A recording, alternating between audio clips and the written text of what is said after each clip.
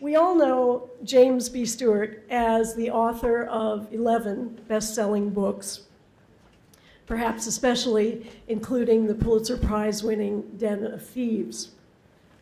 And as you know, we have not been offering uh, extensive biographies of our speakers in introduction because we tried to provide a, a good deal of that material to you in the written program.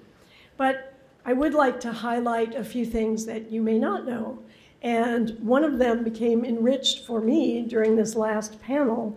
I had no idea that German Lieder would lead to someone being a tech entrepreneur or a finance writer. I had no idea. because the fact is that uh, Jim is a classical pianist. My understanding is, and I won't out you on this, but that he manages to practice at least an hour a day. He gives recitals, and he, in fact, sponsored the Stewart Chair in Music at his alma mater, DePauw. Now, Rick, Rich Ekman and I first met Jim, I guess by now, two years ago. We were embarking on this CIC campaign, and as Rick mentioned this morning, there were many facets of it. The, the social media part, the research part, and so forth. Well, one of those parts that we did think was particularly important was we were going to go out there as evangelists. Rich and I, hand in hand, we were going to go out there and be evangelists, particularly to financial reporters because it was clear to us that they just did not understand, right? what tuition was, what, what financial aid students were receiving, what they were actually graduating with in terms of debt and so forth. So we began to go out actually around the country and speak to a number of finance reporters. I guess going back to Greg's remarks this morning, there were no education reporters. So, so we realized that a lot of the discussion about higher ed was occurring in that sector. Well, it was uh, an, an, interesting illumination for Rich and me because we learned that Jim was not only very knowledgeable about higher education, in fact, very dedicated to his alma mater, DePauw, where he has served, he not only served on the board, but actually chaired the board of that um, university as well. And we learned how committed he was to the idea that we're here to discuss today, that of liberal arts education. In his 2012 commencement speech to the graduating students at DePauw, Jim spoke of defining moments. And I urge you to uh, take a look at that speech if you uh, have an opportunity. He, it includes him discussing a defining moment in his own life, which is very moving and touching and in that discussion, he interestingly, as some of our other speakers have today, goes back to how in that moment he drew a great deal of support and wisdom from actually his undergraduate education many years before. As our final uh, speaker today, I'm confident that Jim is the perfect person to help us uh, kind of crystallized in some ways the defining moments that we've had here together today.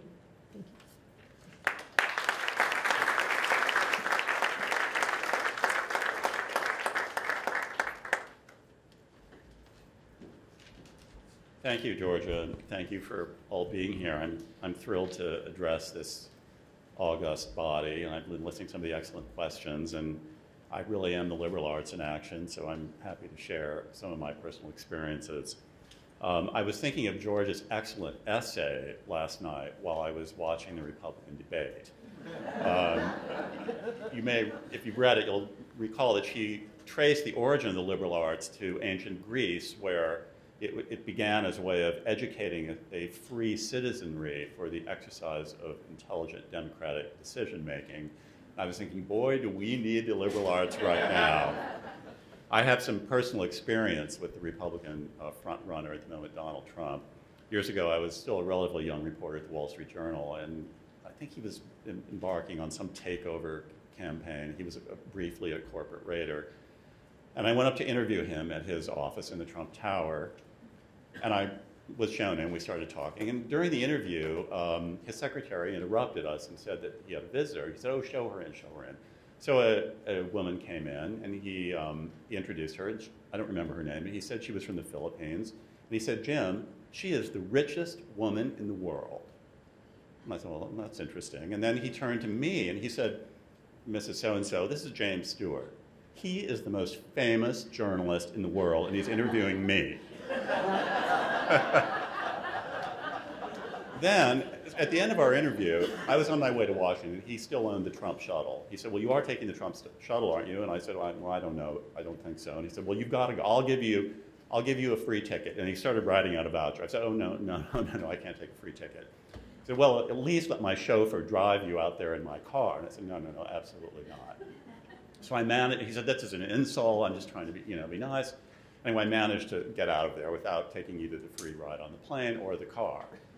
And I'm glad I did because several months later, the real estate reporter at the Wall Street Journal wrote an article about Donald Trump that he didn't like. And guess what? He immediately countered by saying he'd given the reporter a free helicopter ride to the heavyweight prize fight in Atlantic City, which destroyed the reporter's career. So I know he would have been using that in abeyance against me. But I'm thinking about liberal arts education. There was so much information to process just in that one interview. He says she's the richest woman in the world. He says, I'm the most famous reporter in America. I realized right then, she is not the richest person in the world, and I am not the most famous person in America. And to be honest, I've never believed anything he has ever said since.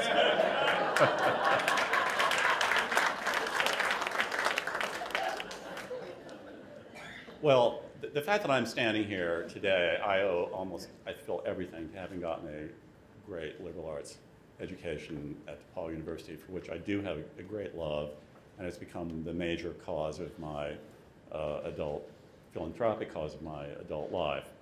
Um, if you had met me as a graduating high school senior from Quincy High School in Quincy, Illinois, I don't think you would have been betting that I would be giving this speech today. Um, and by the way, the president of Quincy University and his wife are also here today, Bob Gervasi. So this is a, as is the president of DePauw University, Brian Casey. So it's, um, I'm delighted they're in the audience. Um, when I graduated from high school in 1969 in Quincy, Illinois, the, the college landscape was, was vastly different. My high school guidance counselor was the assistant football coach. He had two college catalogs in his office, University of Illinois and Western Illinois University. He didn't even have what was then called Quincy College, because that was a private school, and that wasn't even on the radar. I had to become the de facto college counselor of my class. Now, why that happened, I don't really know, but I was obsessed with the idea of colleges. My parents never really said anything about what college to go to, but they were talking about the importance of going to college from a very early age. I started writing off letters everywhere by the time I was a sophomore in high school, and I had a huge collection of college catalogs in my room that I would share with anybody who was interested, of which there were not very many. About 40% of my high school class went on to any kind of higher education, and that included beauty school. Um, I would say nobody went to private liberal arts colleges almost, except I wasn't, you know, I was observant. And I looked around the town and I did see that the people who seemed to be the most successful and the most respected had almost all gone to these schools, although there were very few of them. And I would like to say that I ended up picking DePauw for very high minded reasons, but I have to tell you one of the reasons was my dentist, who was also an excellent tennis player, drove a Jaguar XKE convertible. so this was 1969. 1968, you may recall, college campuses all over America blew up in student activism. My parents had not set foot on a college campus since they were at Quincy College decades earlier. All of my ideas, I think my favorite college at the moment was Amherst, those things went up in smoke. I was not going to be going to any schools like that or anything that far away from home. So I had narrowed it down to three liberal arts colleges, Carleton, Grinnell, and DePauw. DePauw because my dentist had gone there. So we started at Carleton. We drove up there beautiful small town, beautiful campus. Met the admissions person. About 10 in the morning, we went on a tour of the campus. My father and I went into the men's dorm. My mother wasn't allowed to go in, thank God. we got into the lobby. There were four or five guys sitting around looking, you know, a little like slackers, and they offered my father a marijuana joint. Carleton was over by 10:30. then we drove to Grinnell. Gangs of hippies were roaming the campus. that visit lasted about 45 minutes. I finally got to DePauw, and by the way, there was no plan B. This was DePauw or nothing. I got out of the car, I looked around the campus, and I don't know, it was a miracle. I thought, this is the college of my dreams. It was beautiful, it had trees, it had nice looking students. Little did I or my parents know that during my freshman year, the ROTC building got burned down by student activists. But DePauw was a lifeline for me, and it's why I left a small town where very few people went on to any kind of higher education to where I am today, being able to write a column for the New York Times, to write books, to have had an absolutely fantastic and fulfilling career. Um, when I got to DePauw, um, I, I didn't, no one ever told me what a liberal arts college was. It was accepted that that's what you were going to do. And by the way, it was a lot more pure in the sense of there was no career counseling, there were no internships, there was no like work study, there was nothing of this. It was a pure approach. This was the ivory tower. You were lucky to be in it. You would accept what the professors told you, and then somehow this was all going to synthesize and change your life for the better, which we just accepted on faith. Nobody was really questioning that. And the classes I took, I remember the very first um, literature course, basic freshman literature course. Uh, we read a story, the first story was The Open Boat by Stephen Crane. And the teacher came in and said, What does water mean? Well, water, what, you know, uh, what's that? What kind of question is that? And, well, water is water. You know, at that point, if somebody had pressed me, I probably would have said my favorite book was The Fountainhead by Ayn Rand. Not because I cared about the philosophy, I didn't get the philosophy at all, but it was a great story and it had sex in it. and it was, it was no deeper than that. And suddenly I'm thinking water. So we, we ended up spending a week discussing the symbolic meaning of water in the story of the open boat. And I started to learn how to read that day. By the way, in the financial crisis, I went back and reread the, the Fountainhead just out of curiosity. It is so bad. It is embarrassing. Stick figures, cartoon characters, no subtlety, no dimension whatsoever. But that process began to teach me how to read. And when anyone asks me today, like, oh, I, did you like to write as a child? The answer is no, I did not like to write. Did you like to write as a college student? Not especially. They said, well, why are you a writer? Because I love to read, and no one's going to have anything to read if somebody doesn't write it down.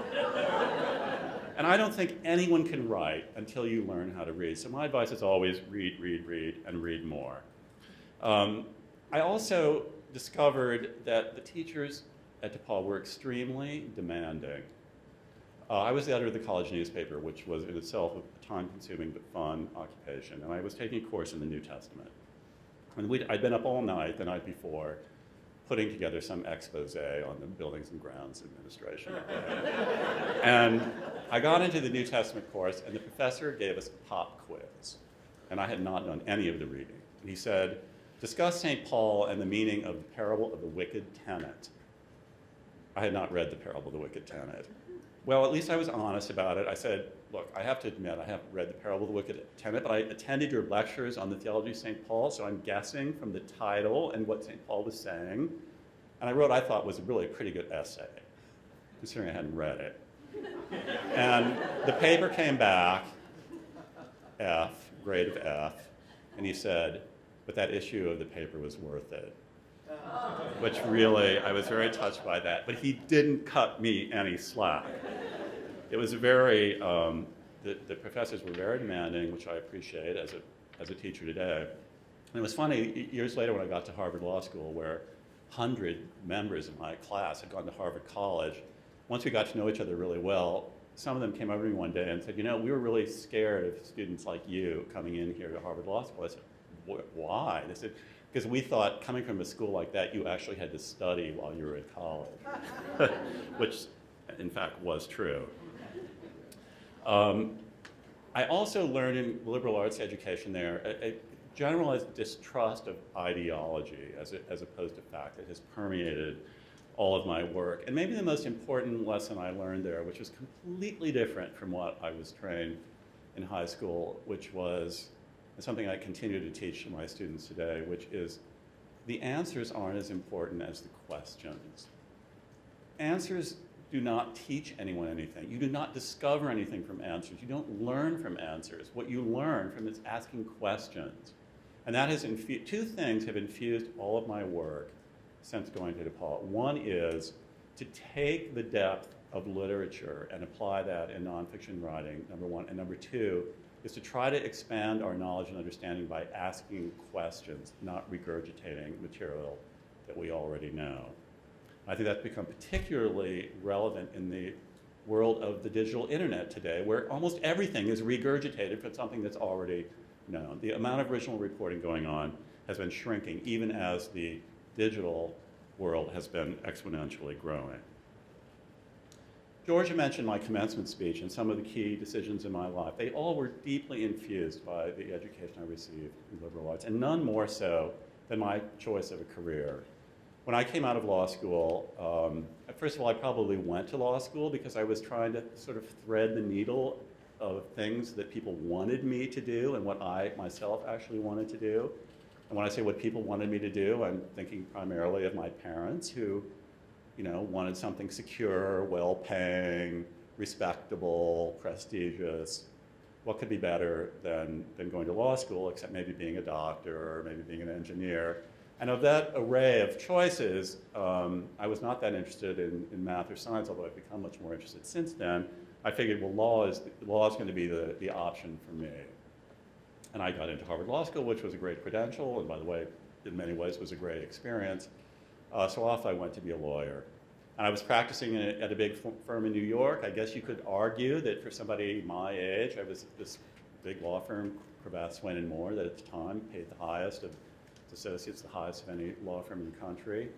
Um, and I looked in the mirror one day and I realized that the people who were succeeding there were not necessarily the smartest. They did not necessarily go to the best law schools. They weren't even the ones who necessarily worked the hardest they were the ones who were the most passionate about what they did. And I looked in the mirror and I realized I'm not passionate about practicing law. And this is something that George also alludes to her in her essay. How do you, how do you have the, the self-confidence even reach a conclusion like that? That to me was very much rooted in my liberal arts education. Reaching that conclusion also required me to be keenly observant about what was going on around me, especially the promotion process, because there'd be 25 new lawyers hired every year, and maybe one would be made partner at the end of seven or eight years. And I was watching who made the partner. What did they have in common? Why did they succeed if others not fail? A lot of information had to be synthesized for me to reach that conclusion. So I looked inside myself and I said, what am I passionate about? What am I as passionate about as they are, inexplicably, about the tax code or corporate takeovers? Um, and the answer was journalism. I had loved being editor of a college paper. I loved working at my local newspaper during summers. Um, I realized that's what I really wanted to do. And so I stunned my parents by saying, I know you, you sacrificed to send me to Harvard Law School, but I'm, I'm quitting the law firm and I'm joining a startup magazine. By the way, the mortality rate of startup magazines is 99%, called The American Lawyer, and my pay is going to be cut by two thirds. In fact, not only was it cut by two thirds, five years after I was out of Harvard Law School, they sent around a sort of class summary. They did it every five years. Came in a red binding. And they would give you a little update about what everyone was doing. And at that time, they discontinued this, but at that time, they also gave you information which has now become a national obsession, which is how much are the graduates making? And they didn't put any names on it. You answered a questionnaire, which I turned in. They didn't put any names on this, but they had the highest salary in the class, and they had the lowest salary in the class, and they had the median, and I knew, because I had turned it in, that I was the lowest salary in the class. So I did not do it for money, but um, I, had the, I had the confidence to do this. I, I like to think it was intelligent risk taking, and that my ability to do that came from my liberal arts college experience. I'm not, I'm not a, a, wild risk taker. I, I don't want to, you know, I don't want to skydive. I don't want to bungee jump. I don't want to do any of that stuff. But this seemed to me, this was a risk worth taking because the rewards, if it worked, seemed so great. And part of my understanding of that came from another great course I had, 20th century American literature, where, you know, I read The Great Gatsby, All the King's Men, and there's one thing that you cannot read 20th century American literature and come away believing money equals happiness. on the contrary. So that was a, a, huge influence on my life work. And I've, I've never made a better decision. I've, I've loved making that choice. I've never looked back. I've had a fantastic career. Now, I keep talking about George's essay. It made such an impression on me. But she also mentioned that liberal arts education was originally vocational training for ministers. And I was thinking, wow, you know, liberal arts education is really vocational training for journalists, which then got me thinking, well, are journalists sort of like the ministers of today, or is it? I don't know. Anyway, that's another subject. But um, that is very that is very true. I mean, it is a very practical degree for, for what I do. Um, let me just give you a few examples. Uh, and they both, they both illustrate my sort of twin goals of bringing a certain literary dimension to the nonfiction work I do, and also uh, informing people and analyzing and synthesizing information, which goes beyond simply repeating you know, what happened yesterday. So I was originally covering the legal beat when I was first hired at the Wall Street Journal. I had not been there very long. And one of the big issues of the day was women in law firms. So some editors said, well, write something about women in law firms. I said, well, you know, I'll, when, the, when the time comes, maybe. So I was, I don't know who I was talking to. I was talking to one of my law school classmates in Atlanta. And as you may know, big law firms have these elaborate summer associate programs and they and dine and take them out to parties and things like that.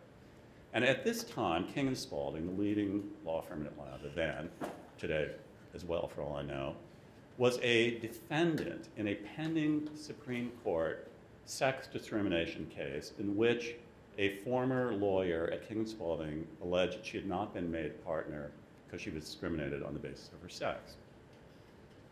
So my source in Atlanta described the summer outing that King & Spalding had just held for their summer associates, which included a wet T-shirt contest for the women, women young lawyers uh, at the firm.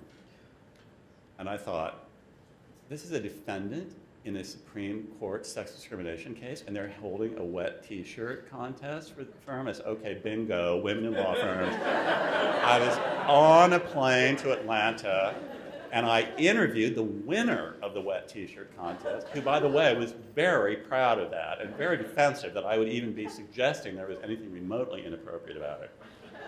So the story came out, front page of the Wall Street Journal, opening paragraphs, the wet t-shirt contest at King and Spalding. A few years ago, for my last book, I spoke at the Atlanta Historical Society. And I was at a dinner. Who was sitting next to me but a partner from King and Spalding. He said, Oh my God, you wrote the wet t shirt story. They were still talking about it over 20 years later. And again, a wet t shirt con- contest in and of itself is not newsworthy, particularly, but it was the context, it was the symbolism, it was the imagery. It was the literary quality of that anecdote that meant that people were still talking about it in Atlanta after 20 years. And I was thrilled by that. I had another story early on. I moved to the mergers and acquisition B. And one of my first assignments was Rockwell International was taking over Allen-Bradley, a tool and die maker in Milwaukee. And I thought, hmm, I wonder what's interesting about that, other than the fact it was, you know, at the time, a mega billion dollar deal. So I, I went to Milwaukee. And I learned some really interesting facts that, you know, there's a, I think it's still there.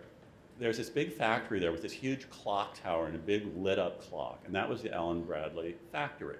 And talking to people there, I learned that old Mr. Bradley, as everyone called him, had lived in the clock tower. And he was an insomniac, and he would get up in the middle of the night and go down on the factory floor and walk his pet poodle while greeting all of the tool and die makers by name and discussing their lives and their careers and what the company could do for them. Allen Bradley had a symphony orchestra, talk about music, a chorus that would tour Europe every year. And guess what? With under Rockwell International, all of that was going to be gone. So I, I came back, I wrote the story, and the opening scene was Mr. Bradley and his poodle on the factory floor. My editor called me in, and he said, I only have one problem with this story. He said, What is it about? And he threw it down on the floor. This was still, we put it on paper. He threw it on the floor and he jumped up and down on it and said, I'm sending you to the remedial writing coach. I said, well, this isn't getting off to a very good start, but um, fine. I, I, I, had never met the remedial writing coach, who turned out to be a lovely person. So she looked at it. She said, you know, I don't see anything wrong with this story. I'm sending it straight to the front page. And she did, and the poodle ended up in the, as the lead, and many people came up to me years later and said, you were the first person to get a poodle into the lead of a Wall Street Journal feature story. and after that, my editor, I don't think he ever got me exactly, but he never tangled with me again. you know, and more recent examples, a few weeks ago, I wrote a column about the coal industry. And, you know, coal, again, that's like Allen Bradley, what's interesting about that? Well, coal is dying. The coal industry is dying. And stocks are plunging, companies are going bankrupt. Um, they basically are no longer lopping off the tops of mountains in the Appalachians. And the reason is not because environmental activists have been marching around, some of whom I've written about. Um, it's because fracking has produced so much natural gas, which is now so cheap, that all the electric, electrical utilities, which are the biggest customers of coal, are turning to natural gas. Now, isn't that ironic? You know, the, the purest environmentalists, some of whom I talk to, they hate it all. Fracking is terrible, coal is terrible, fossil fuels are terrible, oil is horrible, they're all horrible. Even solar has its issues. We, we should all be going back to no, no energy at all. But what an irony that one of their hated targets is destroying the most environmentally insensitive industry that exists, coal. That to me is one of the fascinating conundrums. I ended up writing a story about it, Times put it on the front page, got massive reader interest because, of course, it not only was about coal, it was not just about environmental activism, but it was about this unexpected paradox.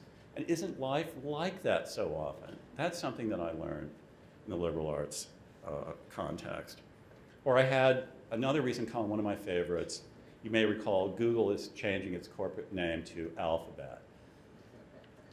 How ridiculous is that on the face of things? But Google had, has, faces a, a fascinating problem, which is that they've been so successful that Google, their brand, their corporate name, has migrated into the dictionary as a standard uh, uh, you know, vocabulary word.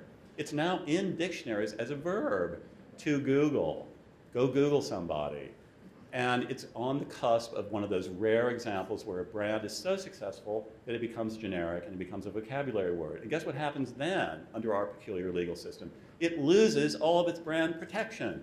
There are estimates that the Google brand is worth $60 billion. And one judge, the day he decides that he hears his kids talking about Googling something, it's gone. So Google has got to move to try to like a, a, react to this. So it was a fun excuse for me to describe the creation of language and the migration of brands into mainstream speech. Anyway, all of this has been great fun for me. My liberal arts education taught me to ask questions, and that's what I do for a career. I look for paradoxes, I look for the unexpected. I'm always asking the question, why, how, how could that happen? What explains this? Why is somebody doing what they do? Why is Donald Trump the way he is? I have, as an adult, also served on the board of DePauw. I was lucky to be chairman. A lot of good things happened while I was chairman. Um, I was uh, chairman when we appointed the search committee that found Dr. Casey. I'm sorry to say that we're now going to be doing another search, but um, that's life. That was one of the most gratifying. My service to DePauw, my uh, participation in the presidential search, my ongoing relation to the school is one of the most deeply satisfying aspects of my entire life. Um, as I said, many good things happened while I was there. There were a lot of things that didn't happen that I wish I could tell you about because I think they're the most significant accomplishments. But even though I love people who uh, talk, I, uh, I respect a confidence, and a lot of this I can't say.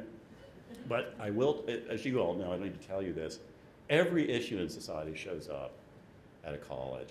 And one thing that didn't happen that I'm very proud of the, the school got a gift of this beautiful nature park, which had a, um, a quarry in the middle of it, which had filled up with water, and it was had not been touched by um, development, you know, in decades. The, the quarry company, which is the company that ended up giving it to the school, was no longer mining it; it was just sitting out there. So this was going to be this new nature park. It is a nature park, and the, the president and some of the trustees had decided they wanted to build a reflection center on the edge of the quarry. And you can kind of understand this in a way. I mean, the quarry is not a natural thing. It was, it was man-made. But anyway, the students got all upset about this. A lot of the faculty got upset about it. And at one point, um, faculty and students said, it was about, construction was about to start, and they said, if the bulldozers come out there, we are going to lie down on the ground in front of the bulldozers. And I didn't, I, you know, I don't like to micromanage, but I called the president. I said, do you really want to be, if not on the front page of the New York Times and even the front page of the Indianapolis Star, photos of students and faculty lying down in front of a bulldozer? So we are not going to be on the right side of this issue. And I will say to the credit of everybody involved, everybody backed away. It was never built on the edge of the quarry. It was built in a very discreet location It doesn't interfere with the natural beauty of the quarry. And that to me was, one of these fascinating conundrums uh, that ended up having a, a, happy outcome. I just want to speak briefly about the uh, challenges which you've been hearing about. I, am not going to reiterate most of them. I, I just want to underscore that this is, I think, a time of, I don't want to say crisis necessarily, but it's not a time for any kind of complacency. The world I grew up in, where nobody questioned the value of a liberal arts education, has dramatically changed to the point where it seems like everybody is questioning the value of a liberal arts education. And most of the answers they're coming up with are not particularly favorable. Sitting from my vantage point in the media, the, the, the stories I hear, the anecdotal information I hear, the misunderstandings um, we, we, all of us who believe deeply in this kind of education have a vast task in front of us. And I think you, you have absolutely identified most of the, the issues, and the facts are, I think, on our side, but we need more stories to get out there to refute these things. And one of them I, I haven't heard mentioned, but is very real, is that liberal arts colleges, liberal arts institutions are perceived as left-wing propagandists. And I was having a conversation with a very close friend of mine whose daughter is a junior at Sidwell Friends here in Washington. And I we're talking about, you know, the, the usual obsession about where someone's going to go to college. And she said, oh, we're, we're not interested in any of those crunchy granola schools. I said, well, wait, wait a minute. Now, you know, they're not all crunchy granola. Wait a minute. What's that mean? This image that somehow they're going to produce, you know, people who take those 20th century literature courses too much to heart and not only don't go out and make money, don't even want to go out and make money. This is something that we have to address and combat. I am a storyteller by profession, and I think stories are the way to combat it. Vivid stories, vivid characters, appealing characters, people that other people want to emulate. We cannot do too much of that. And I, I have to tell you that the, the value of the liberal arts education I'm reminded of constantly, not just in my own work, but I did a column not long ago about the art market and the emergence of fine art as now a very significant new asset class, for better or worse. And guess what?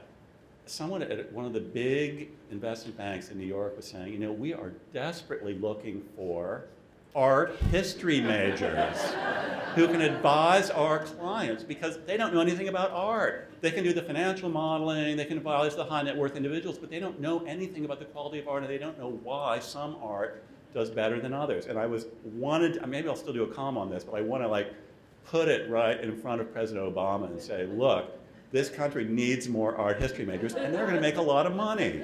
Surprise. I am very confident. You know, I live in a journalism world that's been under siege now for years. It's, it's much worse than higher education. The, the world is being dramatically transformed. And I'm fighting, you know, I'm fighting for this. Part of the reason I'm at the Times, I, I wouldn't want to live in a world where we didn't have a New York Times and a Wall Street Journal and a Washington Post. Not that they have to be on newsprint, but that the quality of the news gathering, the analysis, the integrity, which is unrivaled in the world, would ever go away. That is, that is so important to me. But we are in a sense of crisis, and we're fighting to, to save these institutions every single day. And I think you, higher education needs to embrace the same sense of urgency. But there's no doubt in my mind that high quality journalism is going to survive, storytelling is going to survive cavemen put stories on the walls of their caves. It is deeply embedded in human nature the need to convey information, to hand down the truths of civilization from one generation to another. And liberal arts colleges do the same thing. Liberal arts around, as Georgia has pointed out, go back at least to ancient Greece. They're not going to go away now. But we have got to fight every single day to make sure that that flame keeps burning and that we can give the great gift that we received on to future generations. Thank you. Questions?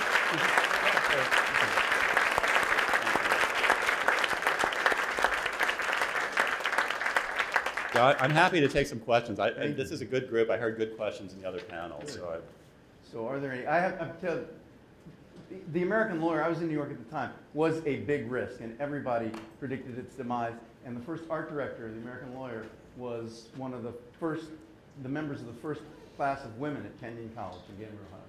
So, Peggy Uh-huh. Oh, I love Peggy. Great. Yeah, she was wonderful. So any, any questions for Jim?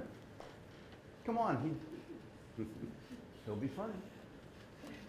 Yes, sorry, here's, excuse me. Jonathan Green, Illinois Wesleyan University. Uh, throughout today's conversations, I think the recurring themes that we've uh, encountered, the uh, cutting edge technologies, new sciences are all cross disciplinary. Problems that we're trying to solve that are the most critical are those that transcend disciplines. Uh, the depth of scientific research uh, that has been transformed since the 19th century that Katie mentioned earlier when we, we could know all there was to know.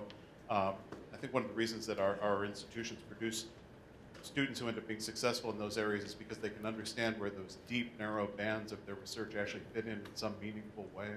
Um, but all of our conversations have been about how that interstitial understanding and problem solving is the thing that our students are given the tools to do.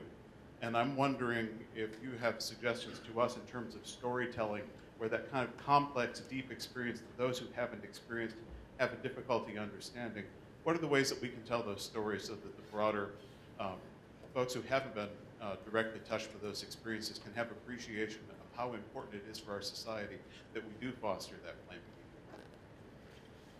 Well, I, one of the great virtues, I think, of the liberal arts education is it, it does, it transcends um, narrow sort of technological issues. I mean, to me, journalism and, the, and liberal arts are very, very closely aligned in that they are, at their best, seeking truth. And that's a quest, that's an endeavor that has no particular te technological dimension. The technology may be a means to achieve that end, but how you find it is ultimately requires you know, the human brain. It requires synthesis, analysis, taking information, thinking of it in creative ways, in unorthodox ways. And I try to teach my students at Columbia that I, I don't care what medium they end up using. They can visual, radio, audio, digital, online, print, you know, dying, but print. I'm completely agnostic. I, I don't care at all. I have this exactly the same goals which is to find the kind of stories that illuminate important issues, that move people, and that they will remember, and therefore will change hearts and minds. And by the way, another thing, again, I don't care what the technology is, but something the liberal arts colleges do very effectively that does not happen much in other schools is getting people to tell stories in the first place. And one of the great revelations for me always is when, especially in books, when I've done all, all of my research, and then I simply start to put the information together in chronological order. Amazing insights emerge. That doesn't happen much in daily journalism because information is conveyed as it is learned.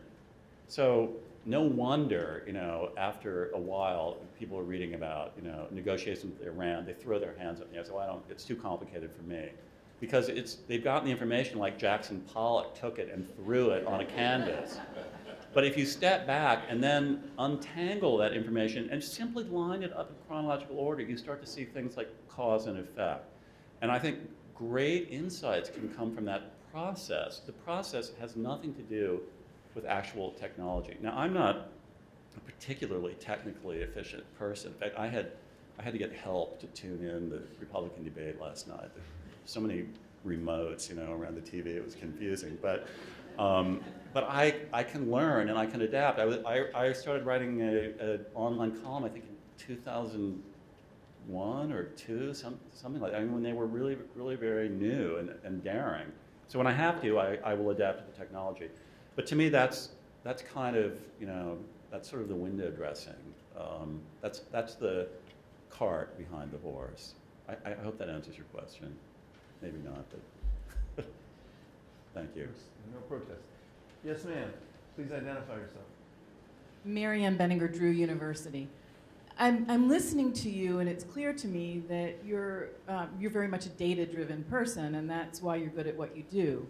I think a conundrum we have is that the data are on our side, but we've learned over and over again that our penchant for trying to use data to convince the world of something doesn't work. And I hear you saying use stories instead of data. Yes. Is that a fair characterization of advice that you would give us? Yes. I was looking at your charts, and they're very compelling. But you need, you need a liberalized education to understand them. You're way overestimating the, the capacity of the average you know, person to synthesize this information. But I see time and time again, you bring in characters, you, you bring in real people to illustrate, illustrate, illustrate, dramatize, dramatize. That is what people remember. One powerful image of a real person who doesn't fit the stereotype of the wealthy elitist going to one of these schools is going to do more than reams of data. And then you've got the data you can tuck in, you know, you, you, you entice them with this fascinating story and then they swallow a little medicine along the way and that helps convince them. But it's the stories that will draw this. And I know you're doing this. You're, you're rounding up stories, and I don't think you can do too much of that. And, and you need young people, too, because you, you, you have a limited constituency you need to reach, at, at least in many ways. The young people, their parents, guidance counselors, there is a finite world there. And each of those audience, I'm not a marketing person. I'm sure you know there are some people that you have access to that can, help with all that. But each of those sort of target groups needs its own story. And when I was, you know, a, a student, I was very susceptible about what other young people I admired were doing. And liberal arts colleges have a wealth of fantastic. I mean, DePauw alone, I could, you know, I meet these kids out there. They're amazing. And every school's got people like that. And if kids saw this, they'd want to be like them. I'm enormously comforted by this because I have a chief communications officer who is new to my institution, and her mantra is show, don't tell, show, don't tell. I think it's the only thing that the woman can actually say show, don't tell. and we have completely revamped our admission collateral on that mantra. So um, we've done exactly that. We have only videos of students speaking to students in their own words, completely unscripted, about um, their experience. And it's yielded so much fruit because the data are then following it exactly as you've said. So um, thanks for that confidence in what we've tried. Sure. Other questions? Yes, in the back. Oh, right here. Right here first, and then in the back. Hmm. Steve Briggs at Berry College, and I was interested in your uh, connecting journalism with liberal arts. Often I've talked to editors, and they say that journalism, don't major in journalism, major in something else, and then become a journalist. And so, as a journalist, you're drawing on that. Uh, talked recently with a trial lawyer who said the key to her success was being able to tell stories well and being able to analyze, research, synthesize, and then tell the story. So I, um, and another friend who went to law school to get liberally educated after geology. You see a connection between law and storytelling and liberal education in the same way that you do with journalism?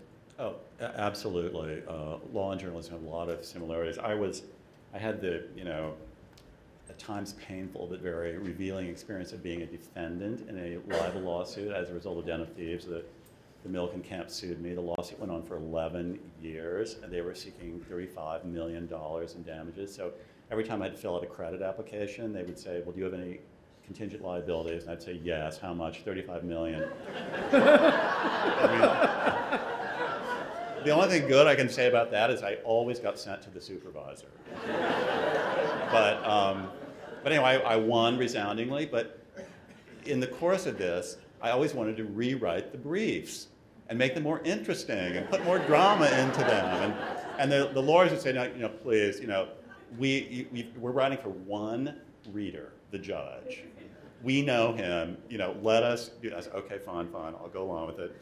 Um, but they were telling a story. I mean, they had to put it into their own stylized, coded, jargon-laden, you know, way, but they were telling a story, and that, and I tried to keep them focused on that. I said, you know, look, I'm, I'm this, I'm just this journalist. I was just trying to reveal the truth about the most powerful person in American finance, and they're they're throwing these armies against me. You know, let's don't lose sight of that. That to me was, I'm the David here, so let's. don't forget the, the storyline. So I was, I was very much, you know, trying to do that all the time. But, but I was in litigation myself. That's always about telling a story. Um, corporate negotiations about understanding, you know, the other side. Uh, which reminds me of Donald Trump again, but I'm not going to go down that road. So, but yes, the short answer is there are many parallels, and I, and I don't think that's unique. Uh, I think many fields have certain things in common, and I would tend to agree with the advice that if, if you want to be a journalist, you, you certainly I don't think I would recommend majoring in journalism as an undergraduate. I mean, maybe depending on how broad the other experiences are. But I was this weird sort of area major in political science and French, and that was great for being a journalist, I, I suppose anything else, really. I'm always dismayed when high school students tell me they know exactly what they want to major in and what they want to do, and I think, so sad, you know.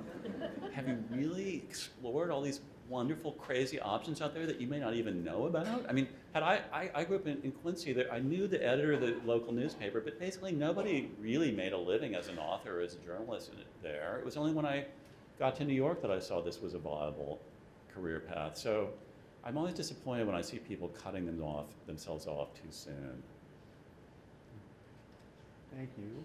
Thank you. I think the two attributes you need when you go to college, not to have any idea what you want to do and to feel guilty about not having any idea of what you want to do. Thank you. Please go.